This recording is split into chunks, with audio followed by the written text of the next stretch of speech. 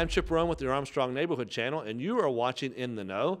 Today we are at the YMCA of Laurel Highlands, and we're going to be learning about the YMCA's summer day camp. And joining me is Brooke Oldland. Hello, Brooke. Hi, how are you? I'm well. And, and what's your position here, Brooke? Uh, I am the director of school age childcare here at the YMCA. Excellent. And so the uh, summer day camp. Tell us about uh, when this happens. What are the uh, what's the time frame for that? So for summer camp, we start in June and we go all the way to August. So once school is out, we usually start the week after school um, ends.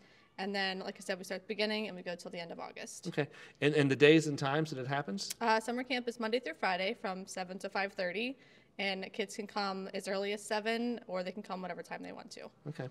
And options for days. You allow them to do like one and three, four and five, I think. Yeah, so parents can choose to come one to three days for part-time or four or five for full-time. Okay. And they can pick the days that, that they want to Yeah, come. Okay. usually kids come Monday, Wednesday, Fridays. Those are our more structured and field trip days and stuff like that. But Tuesdays and Thursdays are more laid back. So, Okay. What's a typical day look like? What, what do the kids get to do? so they come in here and we start by playing with all the toys and stuff that we would have set up. And then after some kids come, we go to the gym, play some tag games, structured like team building games. And then around 10 o'clock, we split up between kindergarten through second grade and three through seven. And we'll have a craft in here, and then we'll do a structured sport down in the gym. And then we switch after some time.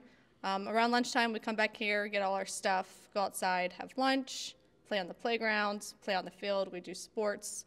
Um, Sounds like fun. yeah, it's a, it is a lot of fun. It's a lot for the kids to do. A lot of running. They are very tired by the end of the day. So when they get home, they sleep. I would hope so. Yeah. I think the parents do too. they would appreciate that too. Yes. So the parents drop the kids off. Is that how it works? They just They come- do. They like- bring them here and they sign them in, sign them out, and they bring their stuff and put them in a cubby, and we just start our day. Okay. So it's kind of like a, a child care Yes. opportunity too. Yeah, Yes. it is. Yeah. A lot of parents work throughout the summer, so this is a good way for them to. And they're having fun. Yes, exactly. Yeah. yeah.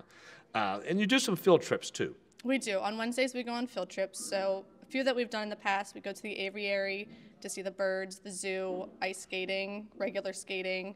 We go to parks, um, just stuff like that. Okay. And I saw you mentioned swimming. Yes, on Fridays, we go swimming. We go to a variety of pools. We go to Laurelville, Flatwoods, Park and Pool, just a bunch for the kids to do something instead of just staying here all the Okay. time.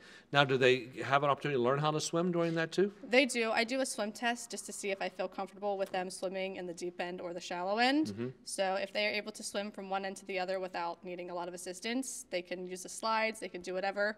If not, I prefer them just to stay in the shallow end with some of the staff just until they feel more comfortable in the pool. Okay, great. Now, what is the cost? How much does it cost for, for Um, kids? for kids to come one to three days, it is $125 a week. If it's four to five days, it's 155 a week. Okay. Now, if they're members of the Y, is there, is there any difference if, if they're actually members, like the family Um, are members? I don't think so, but I do know if there's more than one child attending, they get a 10% off discount. Okay, that's nice. Uh, how do people register? Um, they can register by coming to the Y and picking up a packet at the front desk. They can Okay. either fill it out here or they can take it home, look it over, and bring it back. Okay. Information about this on your website too? There is information on our website. Um, we are having an open house in March. Okay. Um, they can come and learn about what we do, see what we're doing, learn the staff, and then they can take a packet, like I said, and look at it, take it home, and bring it back. So that's the, the first time you can sign up is in yeah, March, they is can that start March 29th. March 29th? Okay. Yes. And, and tell us a little bit about that open house. What will people find when they come So in? the open house is just in the gym. We put up the giant slide so the kids can play while the parents can talk to the staff, see what we do, look through the packet, see what field trips we're going on, where we're going swimming, and just like the costs and everything for it. Now, if someone wanted to know more, could they stop by the Y and talk to you? Uh, Yeah, they can come by here and just ask for me, and I'll feel free to answer their questions. Okay. Uh, just to kind of g- give people an overview again, just talk about the dates again, like when this happens. Uh, so- Um, our dates this year starting June 12th, Okay. and it'll go till August 25th. Excellent. Well, Brooke, I appreciate your work here at the Y and, and what you do to keep the kids active. Thanks. Yeah. Appreciate you coming. Yeah, thank you. And now you're in the know.